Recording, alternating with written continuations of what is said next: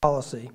Uh, Jack Mendelsohn is a former Foreign Service officer, uh, also spent uh, 15 years or so as the, uh, 17 years, I guess, as the Deputy Director for the Arms Control Association. As I said, has been intimately involved with the debates over these kind of matters uh, for many decades during that time. It is with great pleasure I introduce them and turn it over to Sarah uh, Minot, who will be moderating this and making a few introductory comments about the structure of the event. Great. Well, thank, thank you everyone for coming. I also um, want to mention that we are live webcasting this. So I want to thank people who are joining us there. And in particular, we have a special group, um, the 20th Air Force Task Force 214, who is joining us. So thank you very much for that. Um, so the structure of the debate, we'll start with uh, opening statements from each of our debaters. Then we'll move to cross-examinations. Then we'll have audience questions, so please come up with some good questions um, throughout the debate, and we'll keep it interesting. Um, and also for those who are joining us on the live stream, if you email me questions at sminot at csis.org, we'll be able to take some of those questions as well. Um, then we'll do five minutes of closing statements after that. So I think we can get started. Um, Mr. Mendelsohn, if you would like to start.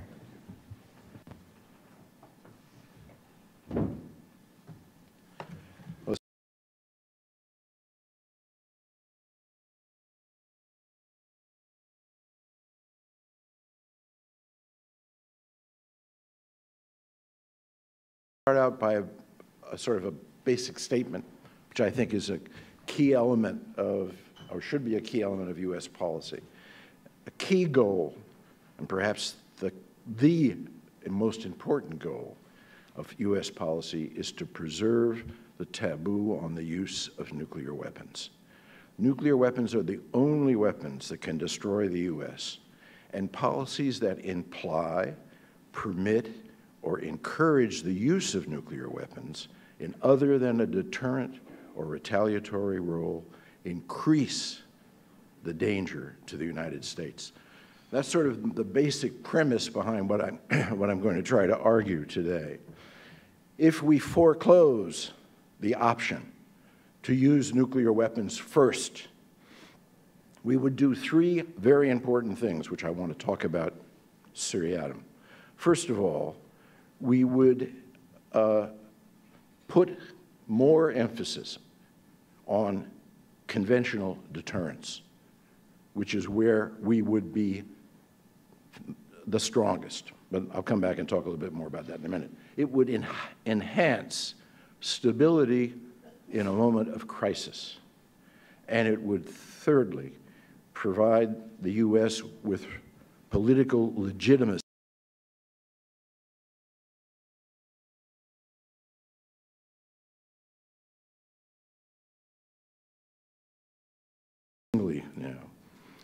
first of all, no, first, no nuclear first use emphasizes conventional forces.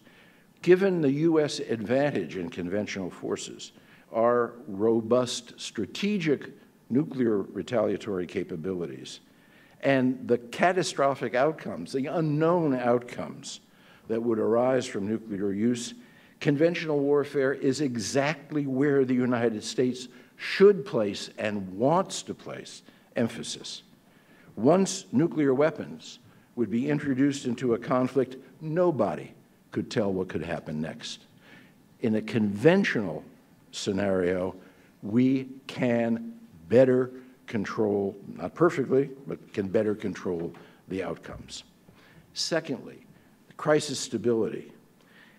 If states believe the U.S. might use nuclear weapons, other than for deterrence and, and retaliation, uh, as they are intended to believe under a policy of calculated ambiguity, which is the policy now. A crisis situation involving nuclear-armed adversaries would be especially dangerous and unstable.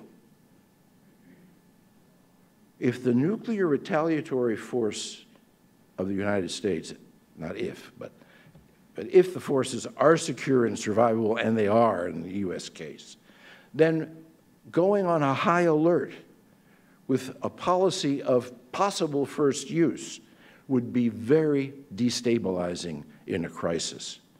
In other words, it could actually impel an adversary to launch nuclear weapons because it knows that the U.S. reserves the right to strike first. So my point is that in a crisis, having this implied first use possibility is a very destabilizing uh, position. Another destabilizing aspect of keeping this calculated ambiguity and potential nuclear first use is largely a political one. As long as the U.S. has an ambiguous policy of possible first use, the president will be faced with pressure from some group or another to, quote, bomb them back to the Stone Age. That was just said a week ago by a senator, a U.S. senator, referring not necessarily to nuclear weapons, but you certainly could imagine nuclear weapons being in the back of someone's mind when they say something like that. Refer, uh, referring to, in this case, referring to ISIL. So um, under, the, let me scoot back to say the president would be under, under pressure from some group or another to bomb them back to the Stone Age, to create red lines beyond which a nuclear, nuclear weapons use might be expected, or just pressure to use weapons in any case to solve what would be a crisis situation in a neat and quick way. In other words, by holding out that option, we've made crises even more dangerous. And thirdly, no first use would provide the U.S. with renewed political legitimacy and leverage as the leader of the global nonproliferation regime. For the U.S. to threaten to use nuclear weapons first, that is, in other than a deterrent or retaliatory manner, means that the most powerful nation in the world believes that nuclear weapons are necessary for its defense and are legitimate warfighting weapons. This totally undercuts most obviously U.S. nonproliferation efforts. If we are to have, if the United States is to have any hope of encouraging North Korea or Iran, for example, to forego the nuclear option, the U.S. has to downplay the role of nuclear weapons in its own security. And as I think I started out, or I, started out to try to say, we can downplay nuclear weapons because we are in such an advantageous and strong conventional position. If the U.S. were actually to use these nuclear weapons, again, in other than a deterrent or retaliatory role, this would break the nearly 70 year old taboo on nuclear use and legitimize, if not encourage, nuclear use by other nations in their own adversarial relationships with totally unpredictable but certainly disastrous results. Our goal, I don't know how my time almost up? I can't read that far. I'll wind it up. In any case, uh, uh, come, circling back to where I started out, the U.S. goal should be to discourage and hope that, the, that all and any use of nuclear weapons for any purpose whatsoever except deterrence or retaliation, in other words, when deterrence breaks down. Because once the habit of using nuclear weapons gets ingrained, if you will, U.S. security will be, in, will be endangered. We will be much worse off than we are, than we, than we, we'll be much worse off than we are today. Thank you.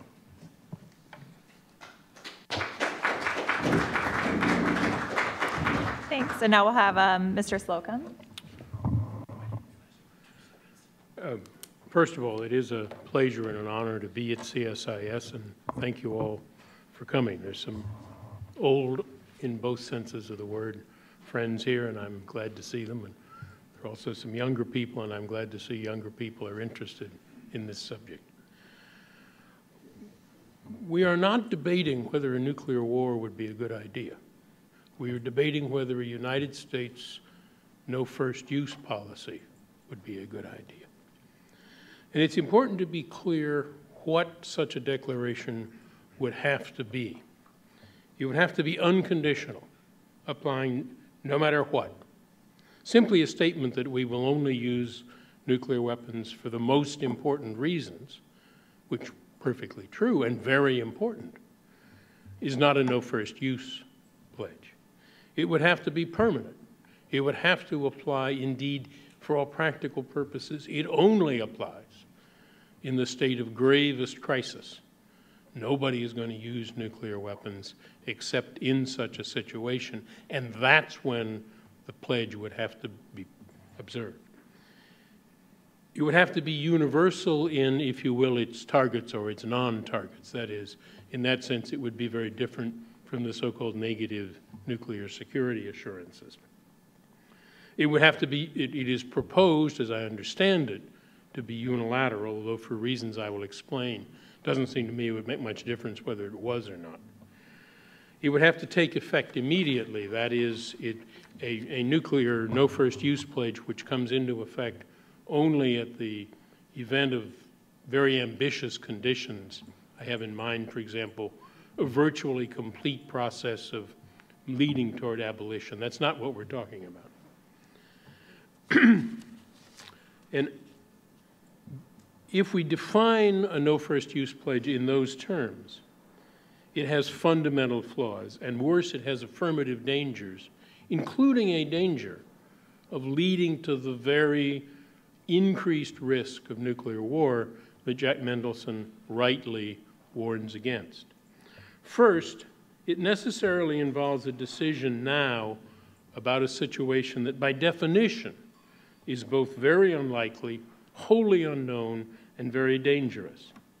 And the, because the premise of the advocacy of a policy is that we can safely decide today that we will always, in all circumstances, reach, be able to deal with our security by conventional means. I certainly hope that's true, and I fully agree that if we keep our conventional capability up, that may well be the case.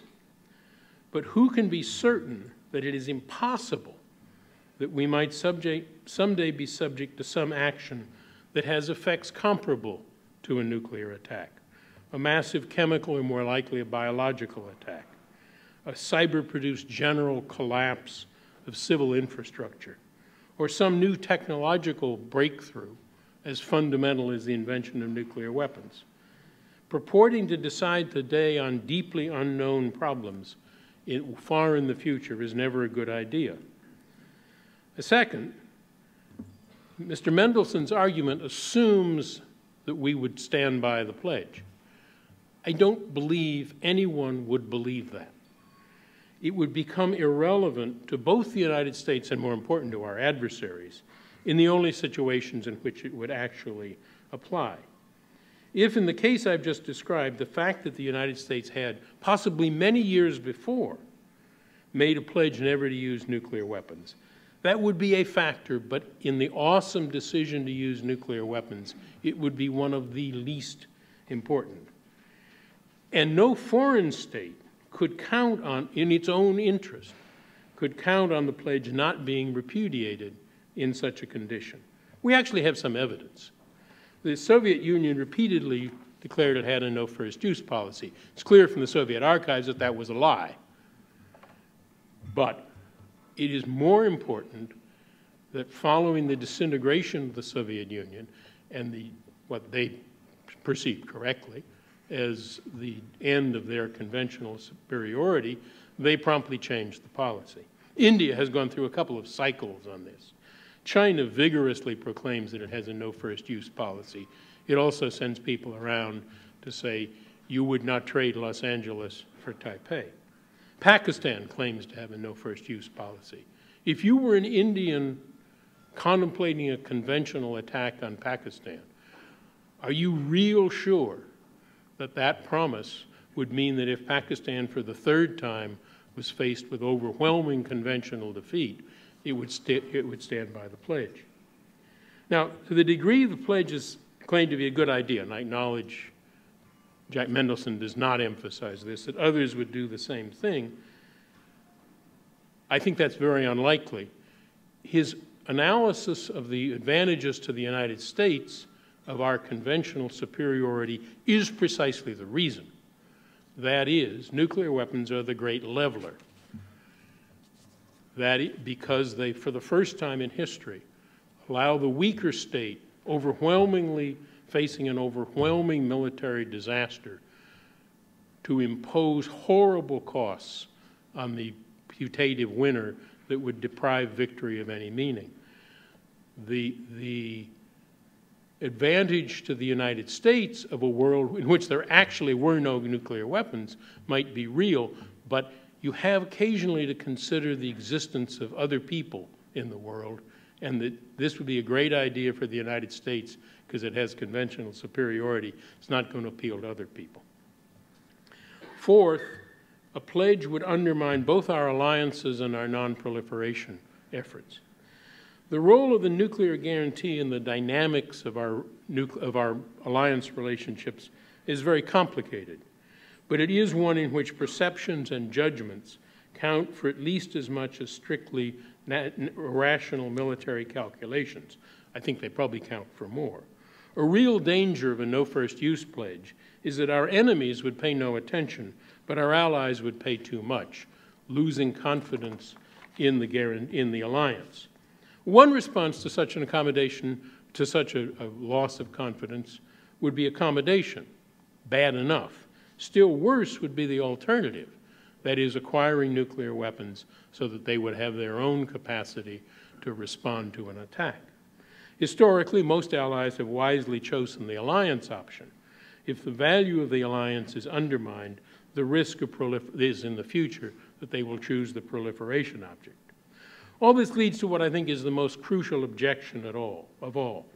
A nuclear, a, a no first use pledge by the United States would increase the risk of large-scale conventional war, and there, thereby, paradoxically, actually increase the chances of a nuclear war. In all discussions of how to avoid nuclear war, it is crucial to recognize that the goal of avoiding any use of nuclear weapons and the goal of avoiding the only somewhat less horrible costs of a modern large-scale conventional war are not different problems, they are aspects of the same problem. And that is because overwhelmingly the most likely way the world would again see nuclear weapons used is as a consequence of the outbreak of a major conventional war. And I believe that removing whatever deterrent effect there is in the uncertainty in what Mr. Mendelsohn rightly describes as calculated ambiguity. You can argue about the scale of that effect among the various other things that deter. It is hard to argue about the sign of that effect, that it induces caution in the mind of the aggressor. Now, I want to be clear about some things that I am not against, or rather, more to the point, that I am not for. I am not for a policy of first strike. The argument about the incentives for a first strike and the way to prevent that are, as Mr. Mendelsohn concedes, largely on the basis of having forces which are not, not subject to the possibility of a first strike on our side and recognizing the reality that against a major opponent, uh, we do not have the option. It is not a policy. Mutual assured destruction with respect to Russia is not a policy, it's a fact of life like physics. Second, I am not in favor of rejection of the goal of eventual abolition of all nuclear weapons. I just have grave doubts that a no first use pledge, at least in contemporary circumstances, would have any favorable impact on that.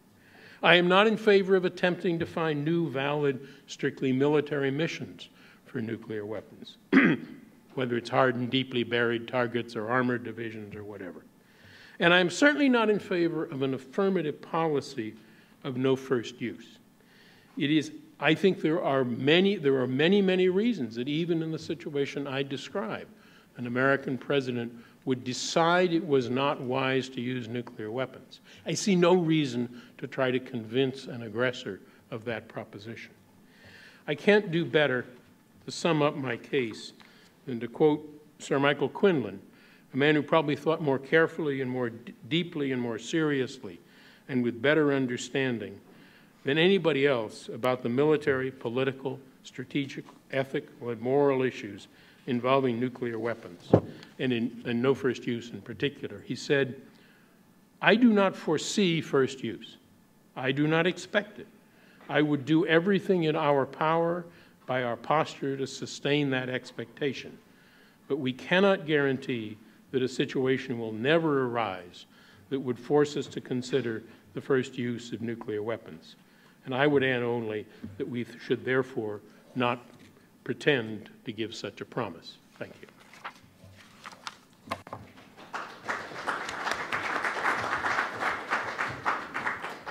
And now we'll move on to cross-examination. Um, Mr. Mendelsohn, if you want to start your cross-examination, about five minutes to cross-examine him.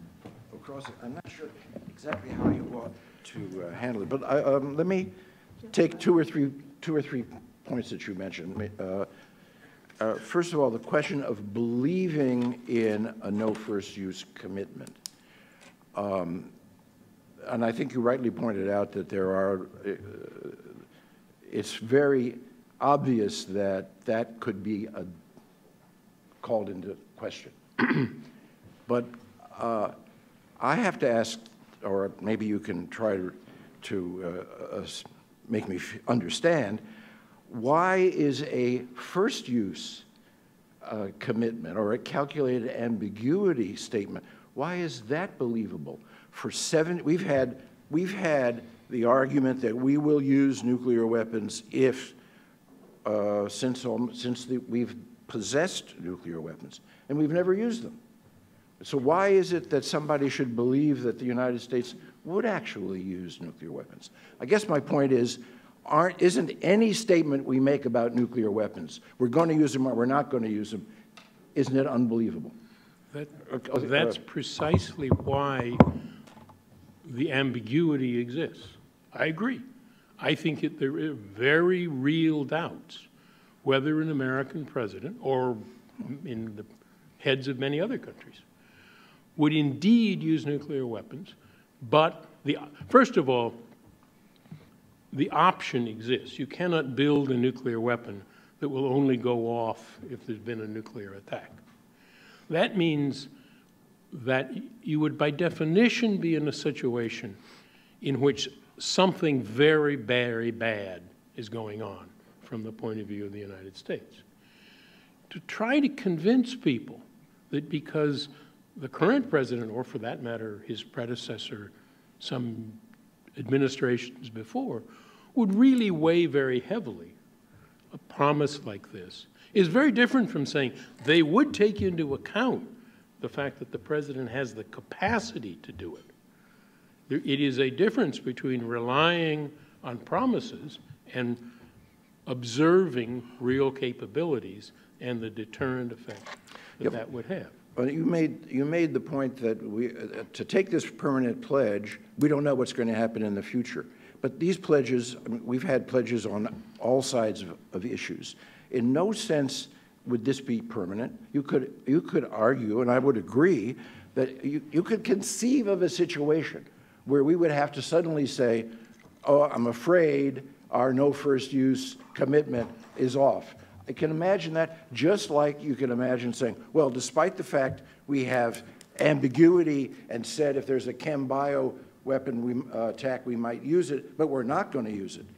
It, it, you, it could be, it could happen either way, whether you have a commitment to use them or not to use them. My argument is precisely that that gives the game away. If you say, I'm trying to think of an appropriate example. Well, let- let's just stick to the, stick to the nuclear case. I will not use nuclear weapons first, unless I decide I really need to use nuclear weapons No, first. but- That's, that is the problem. No, that, that's not, no, that's not what we're saying. What we're saying is, we are committing not to use nuclear weapons. But you can imagine, step- stepping aside from the theoretical basis, you can imagine a situation where it happens. It's not ruled out, but aren't you better off in the interim, you know, from now to then, instead of saying, I hold the right to use nuclear weapons in my hand, to saying, basically, I'm saying I'm not going to use nuclear weapons. And I'd like to see if we can do something politically, you know, in terms of nonproliferation, et cetera, and so on and, so forth, based on that. Take a look, for example, at the Israeli position. They've said nothing. Have they lost deterrent capability? No, precisely because they haven't made a promise that they, that no one would believe. You, you, you can't have it both ways. You can't say nuclear weapons should never, ever be used except in response to a nuclear attack, which is a perfectly reasonable proposition. And I promise I will never do it unless things get really bad. That, I mean, that, that, I mean, but, but, and my point is that everybody whether, I'm understands sorry, whether Yeah. you say, whether you say the qualification or not, the qualification exists. It's the difference between this and abolition. I have, there are plenty of problems with nuclear abolition, but at least the advocates of nuclear abolition say we are going to make the use of nuclear weapons physically impossible. That would be real. It might not be permanent because you can always break out, but it would be real. A no first use pledge is like a promise never to raise taxes. It's like a promise never to put boots on the ground somewhere. I mean, the president will go on the air tonight and will say we're not going to put boots on the ground. Well, I don't think we will. I don't think we should. I don't think we'll have to. We can attain what we need. But that promise, if he really decided it was essential, that promise would be a factor. It's like George H.W. Bush supporting a tax increase. It was a factor, there was a cost of breaking his promise, but it doesn't change the decision. It, the, the, the problem in my mind, and, and I don't, and I'm not, I'm not relying entirely on the argument that it wouldn't be believed. I believe that's a pretty bad problem. But the other problem is if it were believed, it would have somewhat worse consequences because it would undermine deterrence. And it would undermine deterrence of the only thing that it is really likely to produce a nuclear war, which is a big conventional war. That's the, that's the real substantive objection. Um, Well, I, uh, no- another one of your points was connected to this. You said that this would undermine the alliance. And I have a, I have a sense that the alliance is not at all totally committed to the idea that we should be using nuclear weapons early in a, in a conflict first. And I, the, the obvious, the obvious problem is if, this is all very suppositional, if Russia were to conventionally attack Estonia, is it really likely that the United States is going to use nuclear weapons on the Soviet, on Russia, excuse me, on Russia because there's a... Old habits die hard. Yeah, right. Whoa. Um, on Russia because there's a conventional incursion into Estonia. We're much better off if we are able, and I, and I didn't say this, but actually it's implicit, if we are able to respond to a conventional in- incursion with conventional forces. I think the Allies have some question as to whether we really would invoke a strategic exchange by attacking Russia if there were a conventional uh, war. And if that's the case, we haven't lost anything No, by saying we're not going to use nuclear weapons But we have lost something critical.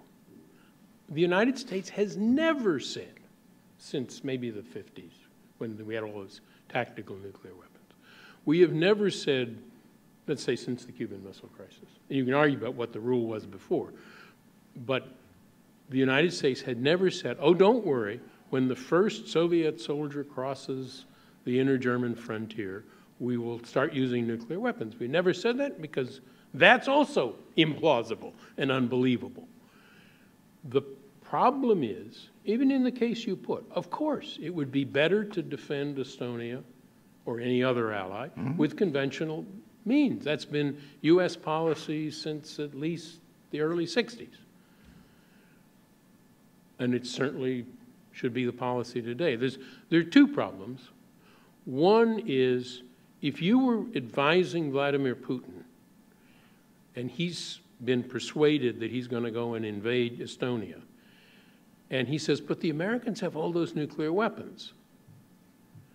Wouldn't, isn't there some chance they'd be used? And I want Estonia, I don't want a nuclear war. Would you, could you, in, with a straight face, saying, Vladimir Vladimirovich, there's no chance.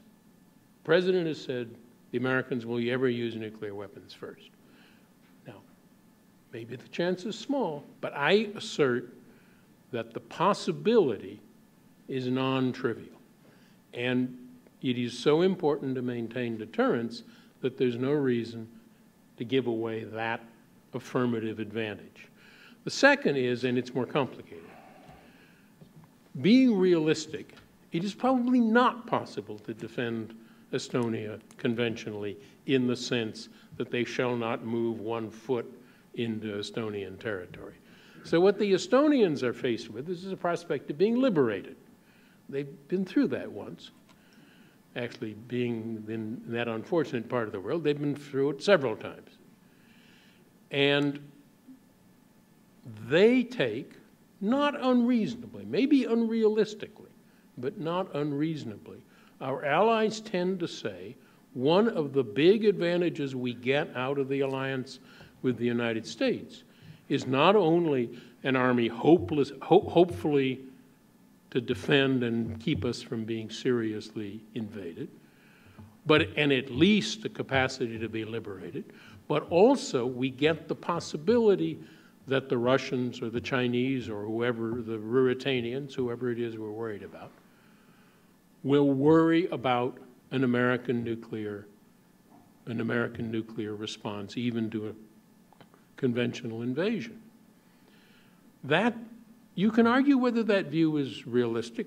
Clark Murdock knows that I have said many times that extended deterrence is not extended nuclear deterrence. It's extended mostly by, under current circumstances, by the U.S. conventional capability but it is not zero. And it is absolutely not zero to the Allies, who, I mean, it is almost, you can make very much the same argument. Is the United States really going to go to a big land war in Asia if um, some American ally in Asia is attacked by China? That's not an easy decision either we, we make these promises. They are important to our security, and we should not deprive ourselves of the advantages that we get by creating a legitimate uncertainty, which is a real uncertainty about what we would do in the event of this kind of a crisis. That uncertainty would not be changed by a no first use. Well, that's commitment. the problem with it. You can't have it both ways. No, no, who you can't I'm have sorry, it both Jack. ways? You cannot. If you're a, if you're a Moscow, uh, you know, analyst, and ask the question that you said Putin should fairly ask, if we do this, are the Americans going to use nuclear weapons? They have a no first use pledge. You couldn't honestly tell Putin well, they have a no first use pledge, but who knows? You haven't changed that at all. You have, I, I would argue, you have gained something politically by having had that no first use um, commitment in the beginning. And let me mention one other thing about uh, coming back to Estonia. It's certainly, for Estonia, it's much more interesting to consider the fact that if indeed we're invaded conventionally, there is a nuclear response ready. That's for Estonia, and that will keep the Russians off of us. That for Estonia, that's a great option. For the United States, it's a lousy option because if we use nuclear weapons against Russia for a land war in Europe, we're opening ourselves to a homeland strategic exchange. Why is that in our interest? It's our interest is to fight on the ground, conventionally, in Europe, not opening a nuclear exchange. Well, I agree about that. but nothing in the case against no, again, nothing in the case against no first use says we should rely on first use. It says we should not forego the option. And when I say you can't have it both ways, you ran through a list of propositions which, i- which are arguably true if the promise is believed. If the promise is believed. But you cannot say that it would affect crisis stability just if the, if the United States has made a promise that it is not, not seriously expected to stand by. You cannot say that it would improve our prestige in the world and make nonproliferation a lot easier.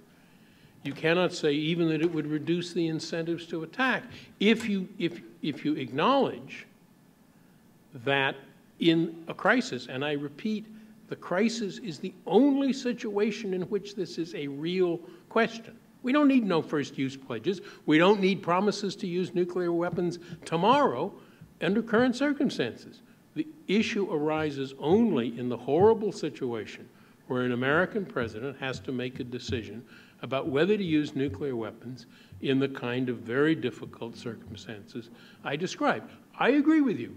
There would be powerful arguments not to do it. No question about that. I'm not saying they would win, but there, there would be powerful arguments not to do it.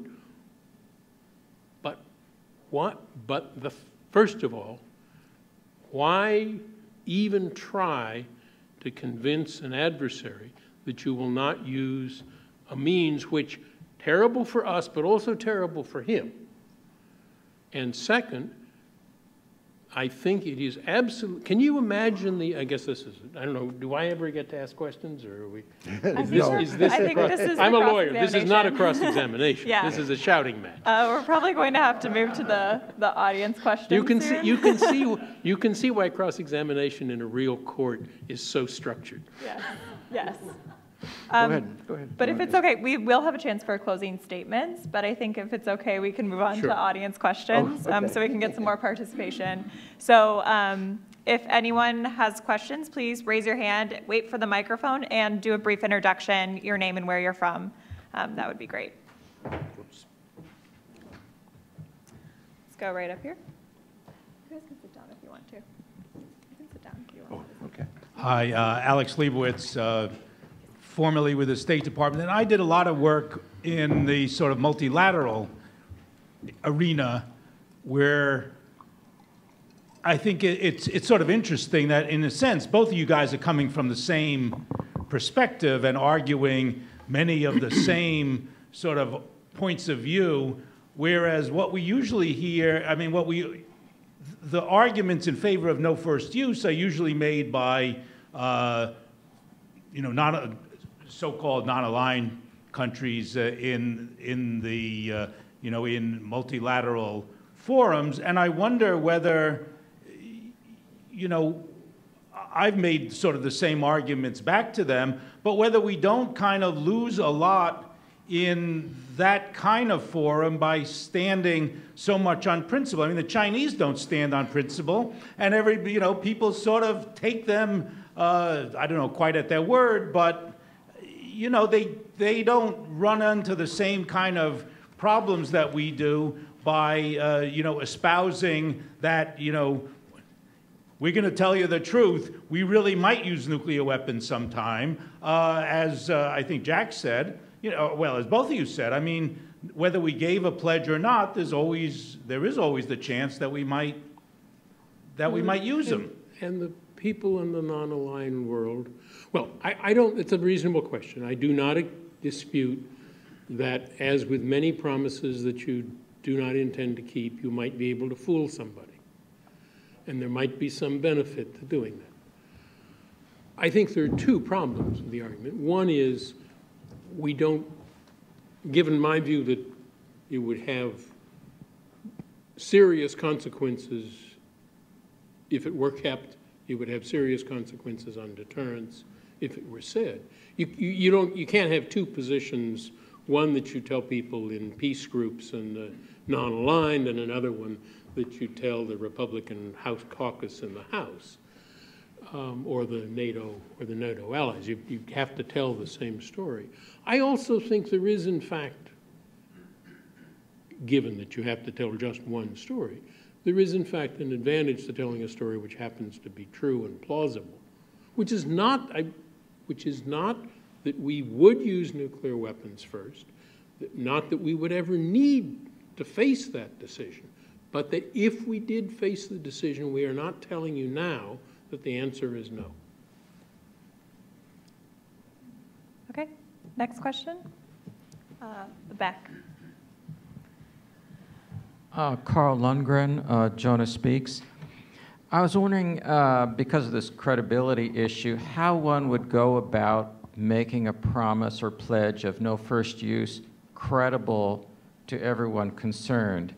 Uh, we know India and China have no first use declared policies, but not everyone believes them. I, and if the U.S. were to do this, what could the U.S. or even other countries do to make their pledges more credible?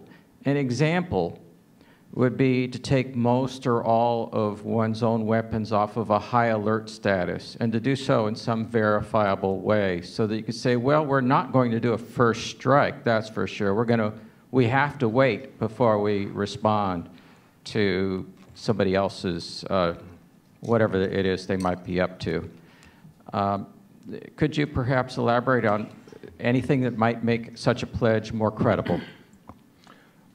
I uh, Your, um, the point about taking weapons off alert is the, is one obvious way of showing that you don't intend to either have a preemptive, preventative, or, or first strike. There may be others, but um, I just wanted to start, uh, come back to the earlier statement you made about how do you make people believe this, that, that you're, uh, you're no first use pledge.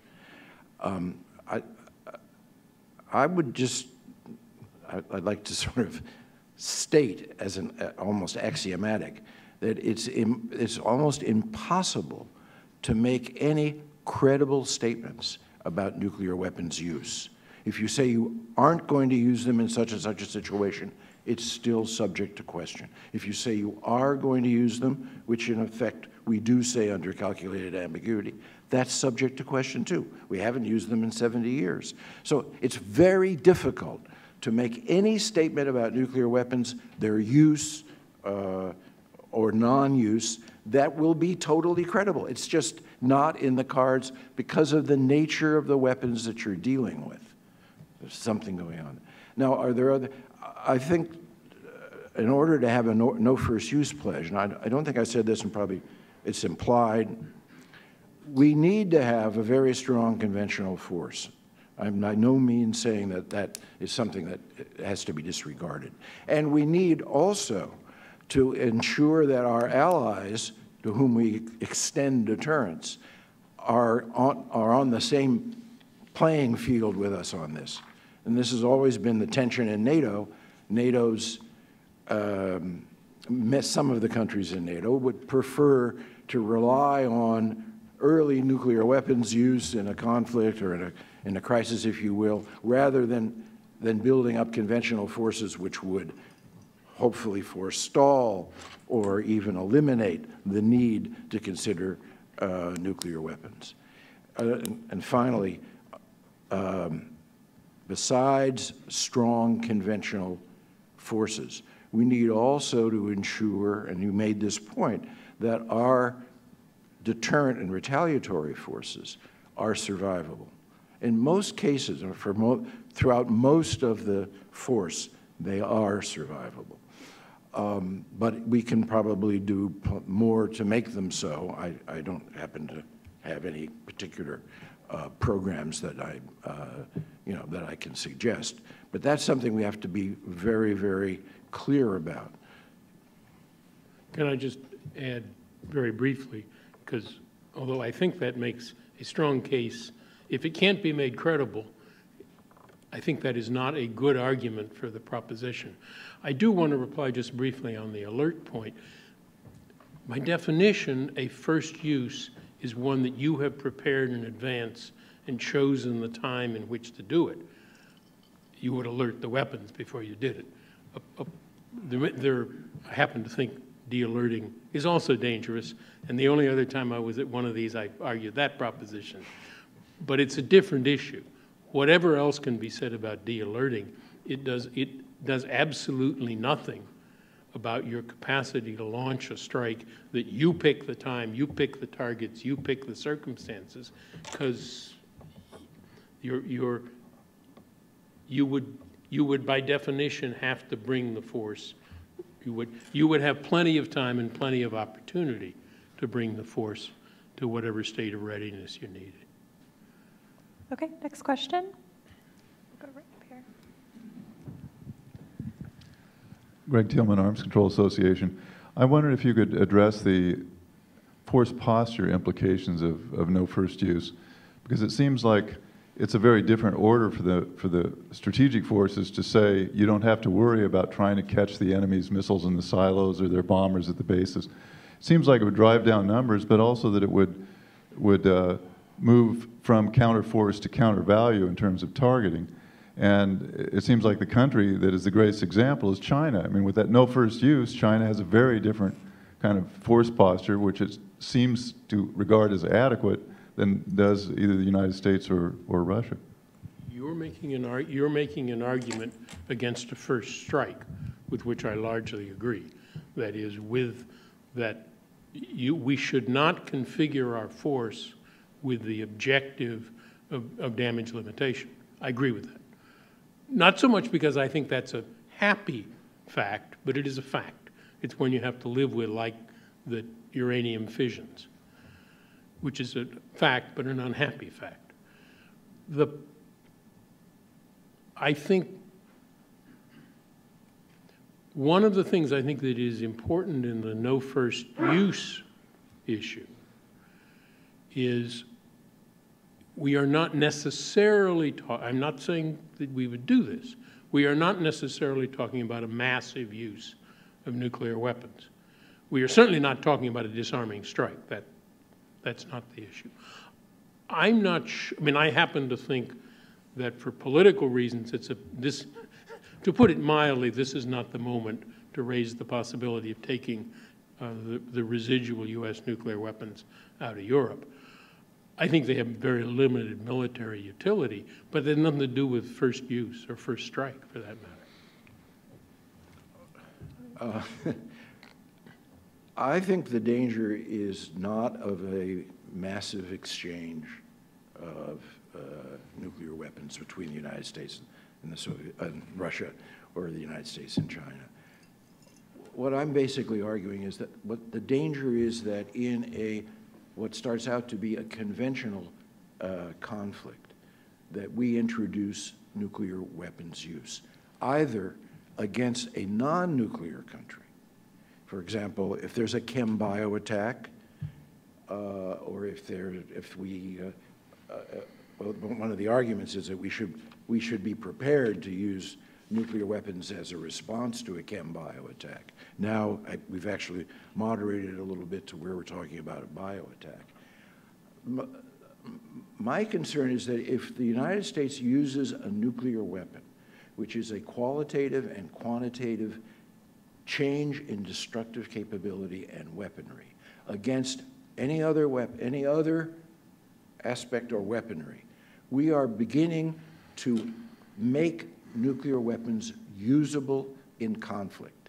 And this is something I argued, or my first point was, that is manifestly not in the U.S. interest to make these weapons appear to be usable for whatever reasons. When we started out, that, that um, example was in a conventional, uh, in a conventional conflict against a conventionally armed adversary. But what about a conventional conflict with a nuclear adversary? Again, it's hard to see what the advantage would be for the United States to use a nuclear weapon in, against a nuclear adversary, unless we want to bring down, you know, rain of, dest of destruction because of a strategic exchange.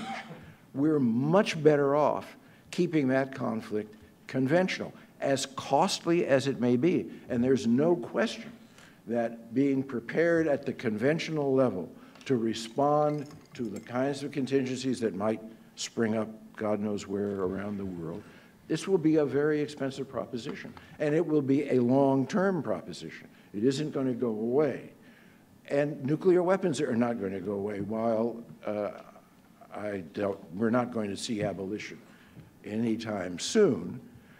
Uh, and, and we're not going to see the renunciation of nuclear weapons unless regional hotspots cool off, and I don't see that happening anytime soon, and I think we don't disagree on that. So this is a long-term operation. But again, my essential argument was it's not in the U.S. interest to see nuclear weapons be used, even in a limited uh, situation. And certainly, you have to ask, ask yourself the question, what is the deterrent value of a suicidal weapon? Well, it's a mutually suicidal weapon. That's its deterrent value. Yes, that's, I agree. I think we can go to the next question, right up front over here.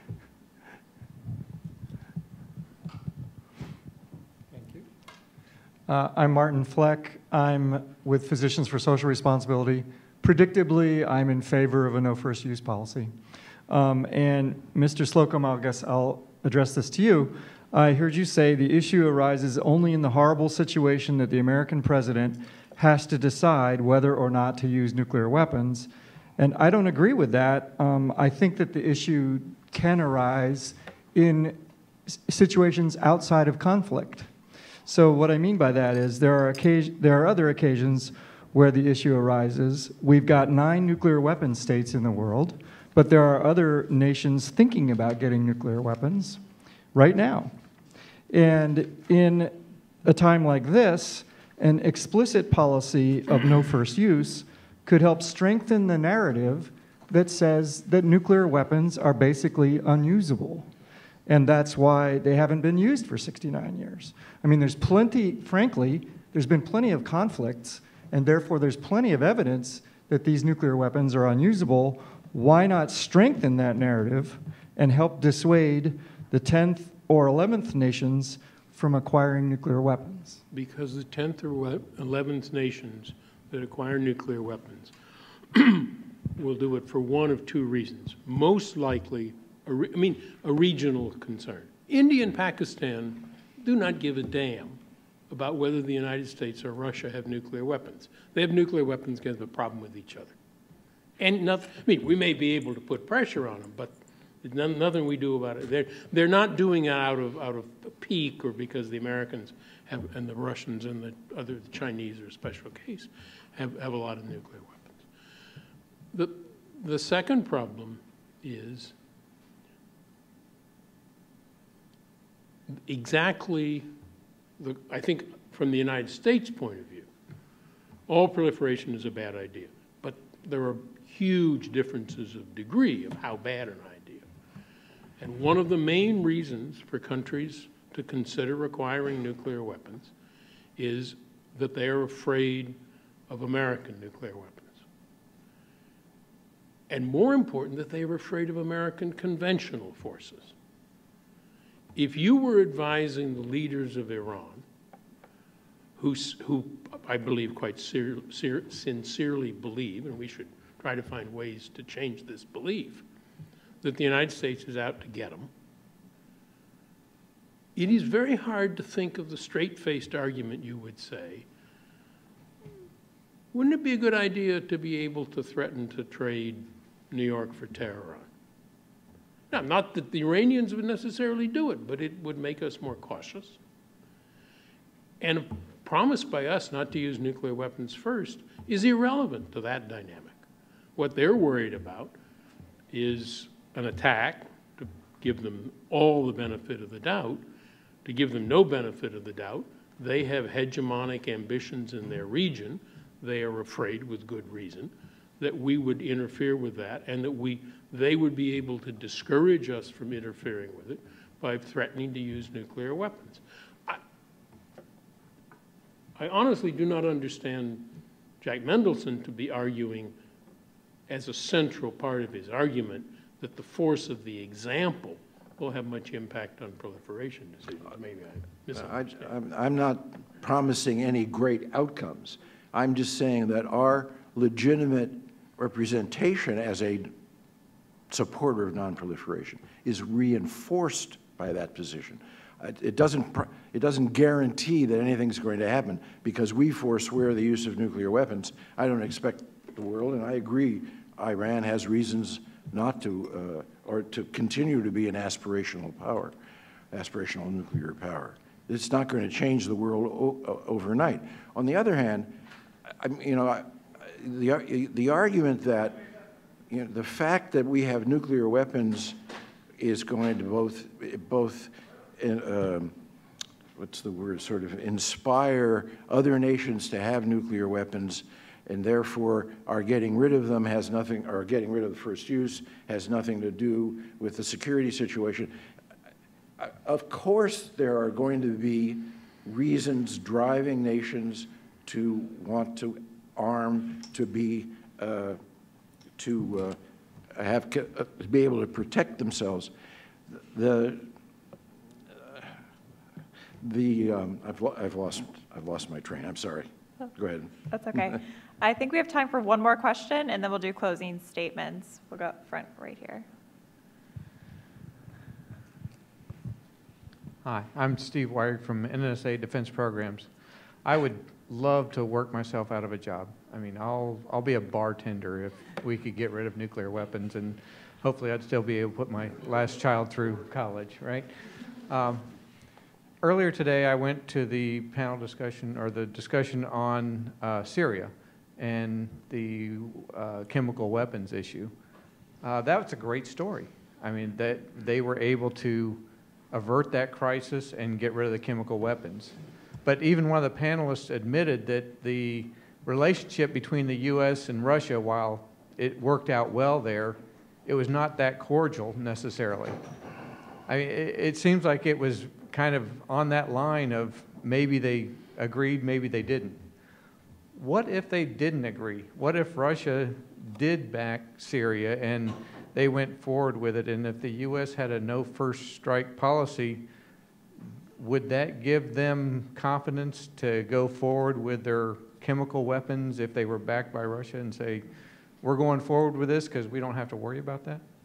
I, I don't think the United States, it's very difficult for me to imagine a situation in which the use of nuclear weapons would arise in the context of trying to stop a country from acquiring chemical or biological, or for that matter, even nuclear weapons, possibly the use of conventional forces to try to, try to destroy the facilities might.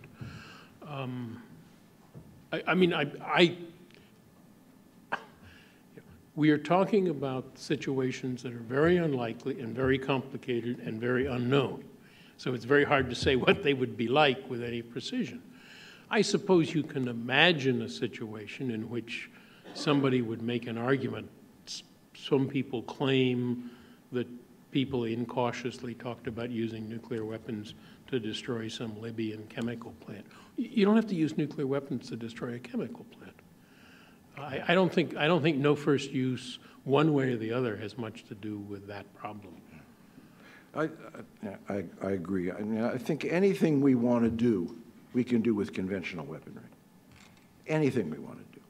And actually, we are, I mean, this minute, it's acknowledged in our own defense acquisition programs. We're now attempting to field a prompt strike force of conventional weapons. What's it, I forget what it's, conventional Pro- uh, prompt global strike, has a great ac, uh, acronym.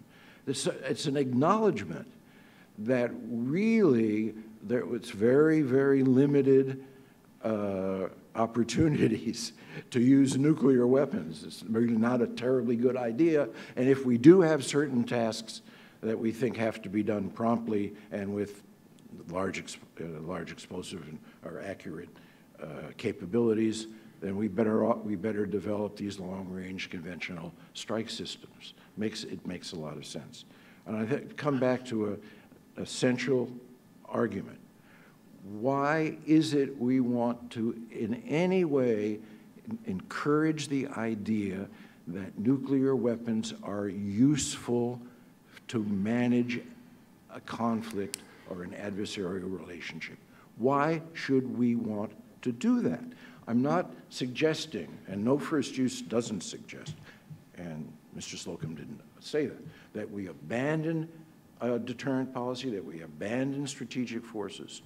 What I'm suggesting and what the no first use pledge does is take that option of, let's say, let's just nuke them a little bit, let's just nuke that facility, et cetera, takes that option out of the playbook. It seems to me it's in our interest to argue that should not be in a playbook. It doesn't say that other nations are going to, oh, okay, no first use, we're going to, well, we'll abandon our nuclear forces. I doubt that's going to happen. But you're, you're in this sort of blind alley if you say the fact that we have nuclear weapons is going to, people are, and we're so powerful conventionally that they're going to want to get nuclear weapons. Yes, that's right. I don't think we can easily stop that unless we can stop the regional tensions that fuel those kinds of uh, relationships. But what we can try to do is to say it's not good manners to consider nuclear weapons as a way to deal with a conflict. Okay, thanks. I think we're going to move into closing statements. That was Um, my closing Mr., that was your closing. Well, we can go to Mr. Slocombe if you want to do your closing statement, and then um, we could do yours.